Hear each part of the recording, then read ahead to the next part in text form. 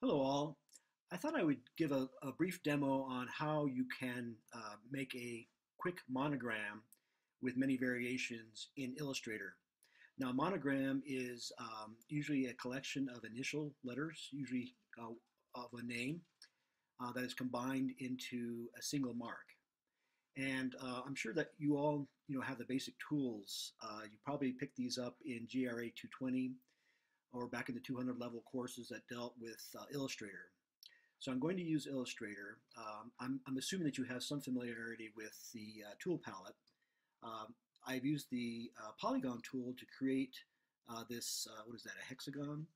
Uh, just be aware that you know you don't have to, I'm, I'm going to create a seal. you don't have to use a circle or a square. You can use you know other shapes depending on what will fit your monogram. And again, this is, you know, really more an exercise in typography than it is a how do I design a logo. This is just meant to get you some ideas. Those of you who are going to have a monogram uh, or initials in your logo, it might give you some ideas. So uh, I've drawn some background shapes. I've set some type here.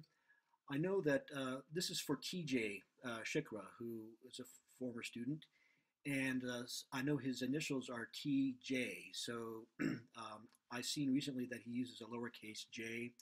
So what I'm doing is I'm going to, uh, I've set uh, the T in a variety of uh, letter forms. I have a big font library. Um, and these are fonts that I have uh, paid for in the past. Some of them are quite old, and I wouldn't recommend using them. But um, even the default typefaces that are on your system, um, you can use, or if you have purchased in the last you know terms uh, typefaces that you wanted to use. Be careful of typefaces that you find for free off of the uh, internet. I'm sure you've had this discussion before. Generally, if they're free, um, you get what you pay for. They're not terribly well designed, or their screen, equi screen equivalents uh, aren't very good, or there's something wrong with the letter fit uh, so forth. So be careful about uh, free typefaces on the internet. Anyway, here's my library of typefaces. I'm going to uh, set uh, the T uh, in a variety of thick um, or bold typefaces that I have in my um, library. And then what I'm going to do is I'm going to convert e each of these lines of type to outline format.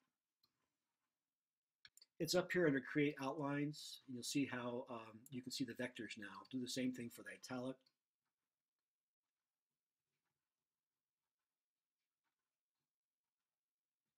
Create Outlines. There we go.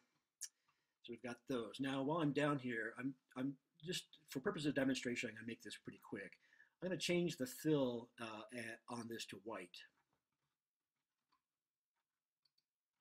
So we can see them if we go to outline format, but if you preview them, you shouldn't be able to see them. Now we can uh, drag them around individually. I'm going to take this good-looking slab serif, whoops. I'm going to use the direct select tool uh, to select it. Oops, maybe I have to do use the, there we go. And uh, remember, this is black, so you know maybe I want to change the fill to something to white. And uh, let's see what it looks like.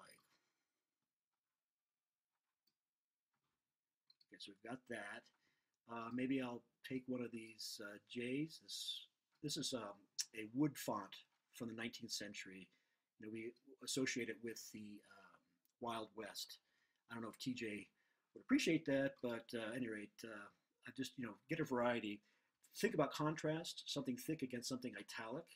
Remember I have these uh, I have this graceful um, script J, which might look good. Whoops, make sure you select everything. You don't want to distort them yet.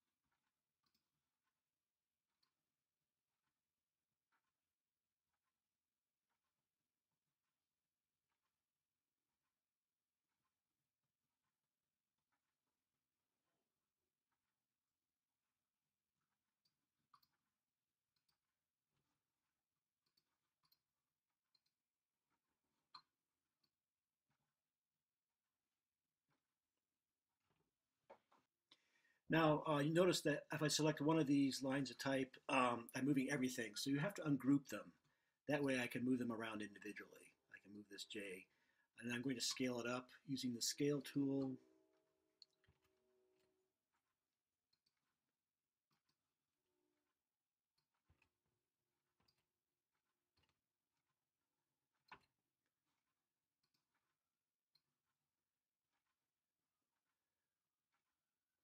Reposition this perhaps. And I'm going to set this for um, a white fill also. Let's preview it. Oops. We send this to the background.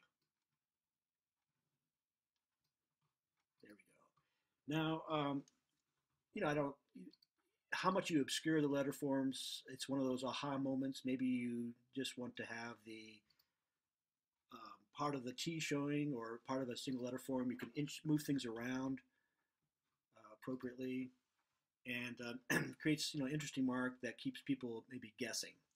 Um, and but you know that isn't so distant from his initials that it doesn't after a while suggest TJ. All right, so that's that's a suggestion. Now, um, obviously, you don't want to be moving all these things around. You want to create a single mark. So there's a couple ways you can do that. First of all, let me ungroup these. So now, now I'm just dealing with this. I'm going to select these. I'm going to go up under Object, Compound Path, Make. All right, so that's, uh, let's look at it under Outline. You might have to go back in and clean it up a little bit. So you want to create a, a single mark. Um, I've opened up the Pathfinder dialog box. Take a look through these options. You can just scroll through them. Uh, that creates a, a, single path of the perimeter. Don't want that. Um, this, let's see what this does. There, that's what we want. See how it's clipped off the top of this oval? Uh, and what mode was that? That is minus the front. So I bought all these, the T and the J to the front. I selected them with the background, and then I selected uh, this minus front option. Let's just see what the other ones look do. This is intersect. Okay, so that did not uh, produce anything. We got an error message there. And then let's take a look at uh, exclude. And let's see what that previews. It's probably going to be um, just a set of paths. So that's, that's also not what we wanted. So it looks like our best, uh, best option is minus front.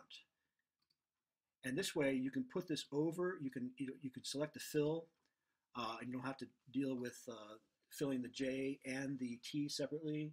You can select any, any pretty much any fill. Uh, you could put a photograph behind it. So I hope this gives you some ideas for how to develop a monogram. Uh, be aware of the negative space, you know, that the uh, what you see as a positive black here needs to be seen from a distance.